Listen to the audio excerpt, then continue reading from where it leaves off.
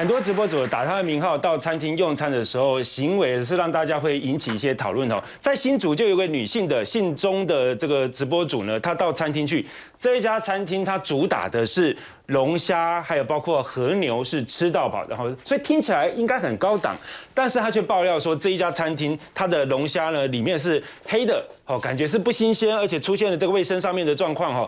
但是有一个更大的争议，现在店家反反反而跳出来反咬他。他说：“你是被我们逮到了，你居然用塑胶袋偷偷装了这一些龙虾。那规定吃到饱当然不行啊！而且这样严重的话，其实店家可以算他是偷窃哦，等于是偷窃的一个行为。以前我也跟这个吃到饱的时候，我们跟人家并桌，我们并桌的客人居然也是偷偷偷放到塑胶袋，然后后来被发现的时候，我超丢脸，我超丢脸，我一直跟大家说跟我无关，跟我无关。好，我们先看一下当时店家他有拍到一个影片，从头到尾这个女生真的就是用塑胶袋。”在装这个龙虾，来看一下这个经过。这是，因为你那个袋子，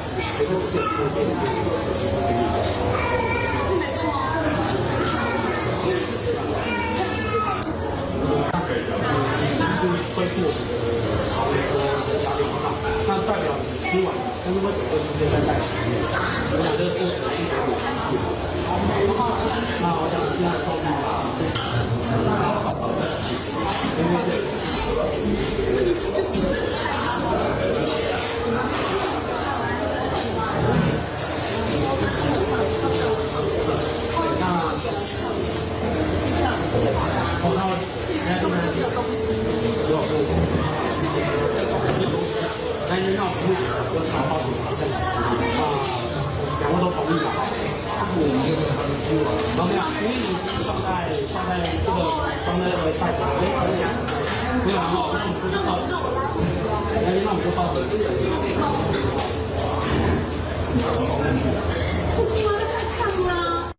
好，这位中信的直播主啊，他认为是说，因为就是怕烫，所以我才把这个龙虾装到这一个塑塑胶袋里面哈。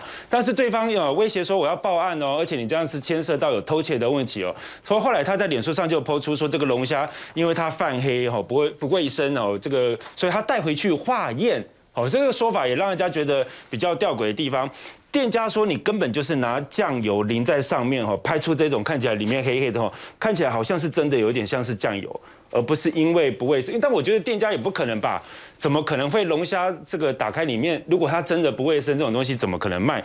后来这个直播主也告诉大家，我说连酱油放在你们哪边我都不知道。他说：“我怎么可能拿酱油来造假？这个事情哦，这个伟汉你怎么看这样的一个争议？其实我觉得这个龙虾它是不是不干净，或是拿酱油，跟你把它放清塑料袋有关系吗？不干净，对不对？你今天这个东西不清不干净，你就请老板来，你这东西，嗯，这不不干净或者怎么样，有什么东西？你你今天把它放到袋子里面说是因为怕烫，放到塑料袋里面那是更烫的。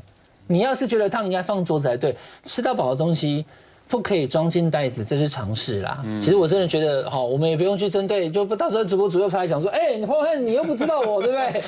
好，那大家又开始所以大家包括店家，包括我，他们怕的就是直播主在社群上面的影响力哦。所以连批评他们、质疑他们都小心翼翼的。没有啦，我真的觉得不应该啦。嗯，就说你今天去吃吃到饱的东西，你就不要给人家这种瓜田李下，你放进你的包，放你的袋子。嗯。你就在那边吃就好了，你只要能吃，我相信在时间之内，既然他敢吃到饱，他就让你吃的嘛。那你吃后在纠结说，我干嘛要去拿你的东西？那东西食材不好，哎，那个都是两回事了。就算是食材不好，黑黑的，就算它上面真的不是酱油，而是有那个异色，你都不应该把东西放进塑料袋，放进包包里面，就这么简单。好，所以这个其实没有什么好争议的啦。那老板他也每天开店做生意。他看的客人也多了，他应该也是逗美雕了，所以他也才在旁边拍嘛。他把它拍下。刚刚我们看到影片，应该是店家拍的嘛，对不对？所以现在如果店家开门做生意哦，看到有直播主什么的哦，你可能全程先直播先收证哦，开玩笑哈，然后不要直播主来跟我们这边抗议。还有另外，呃，现在这个店家也去报警了哈，所以现在就是进入司法调查哈。那到底是他造假，还是店家真的有卫生上的问题？我相信这些影片都会还给店家，还有还给当事人一个公道。另外一个画面，大家看的非常的触目惊心哦。我们刚刚有讲到小黄司机的车祸翻车翻得很严重。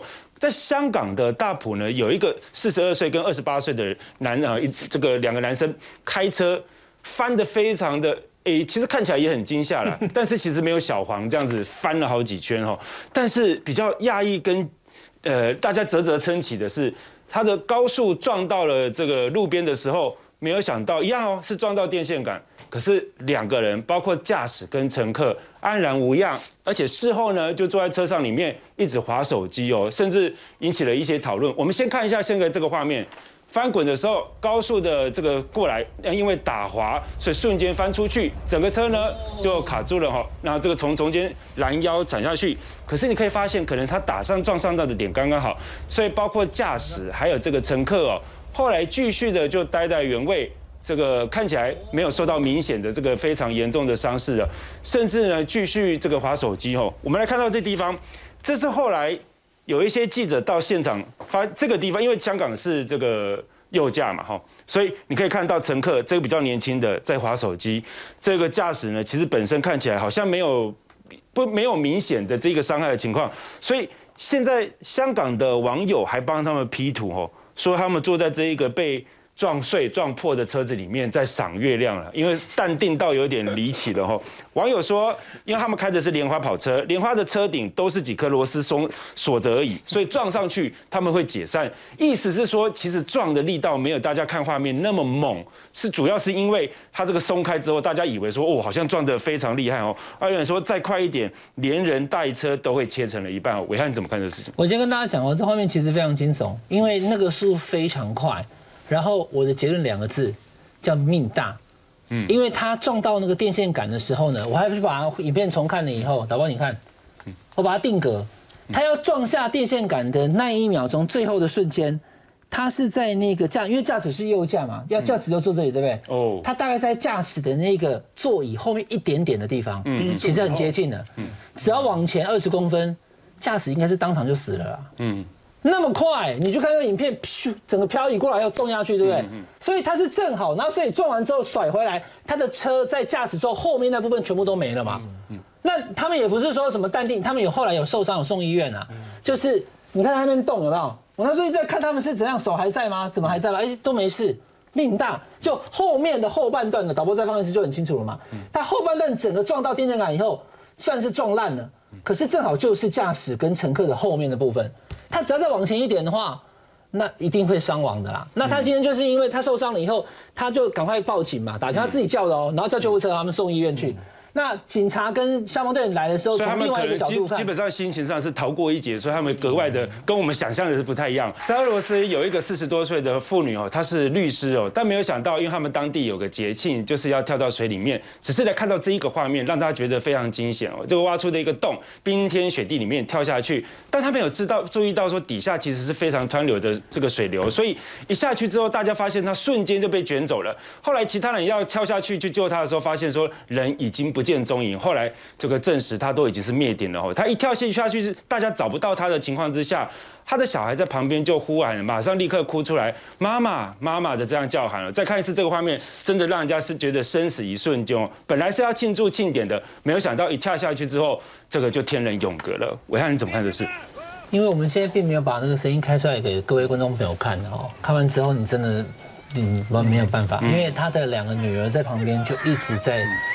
呃，哭喊的叫他的，大家现在依稀可以听到那个，就是他的小孩就叫妈妈妈妈这样，因为那个太惊悚了。妈妈在面前是为了要主显节，他是这个宗教上面为了要去彰显主，所以他跳下去，零下五度，但是下面的水上面是冰啊，而且他们还是自己把那个东西弄出那一块来的。嗯在他的弟弟哦，他的先生，他的小孩的面前，他跳下去以后。